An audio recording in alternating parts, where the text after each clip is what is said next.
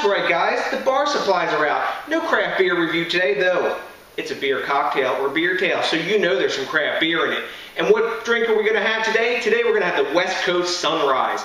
The West Coast Sunrise is play on a tequila sunrise. It's got many of the same ingredients. However, for bittering in this drink, we're going to use a West Coast IPA, which is a pretty forward IPA. This one's super fresh, got plenty of hop bitterness in it, and that's going to replace like our lemon or lime that you would put into the drink. So, without further ado, let's get started. First, we're going to go with an ounce and a half of 100% agave reposado tequila. So, we got one ounce. Now, we're going to pour this into our tin that I've got filled about, I guess, a quarter of the way full with ice. You don't want to water this down too much. All right, got our tequila addition. All right, next up, we're to have two and a half ounces of orange juice. So we got one. I'm using Donald Duck today. You could use fresh squeeze, but I'm lazy, so I'm not doing that. I got our buddy Donald helping us out. Okay, two and a half of that. Now, I've already pre-measured this. This is two teaspoons of the juice from the maraschino cherries there. You could also use grenadine if you want, but this is a little more watered down and not as aggressively sweet as grenadine is. So, put that right in there. Now, last but not least, we're going to have two dashes. Let me get a bit of shake first. Two dashes of Angostura bitters. One, two. All right.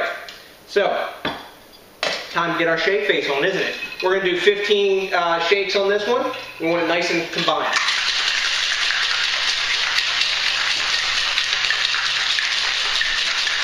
Okay, now we got our pint glass here because it is a beer.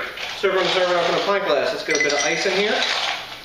They say fill it with ice, but I don't like too much ice in this drink. I only like to go about halfway in the glass because there's plenty of liquid in this shaker already. So, get this in here. So this is pretty much a tequila sunrise, but we're going to go a little west-west today, guys. Got our West Coast IPA. Nice hiss off the top. And we're going to do our beer addition. Pour it nice and smooth so we don't get a Jai head.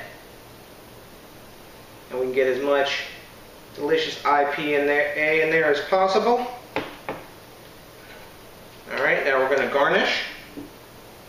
Got a nice lime wheel. That'll look pretty. And a few cherries. Boom. There you have it. West Coast Sunrise.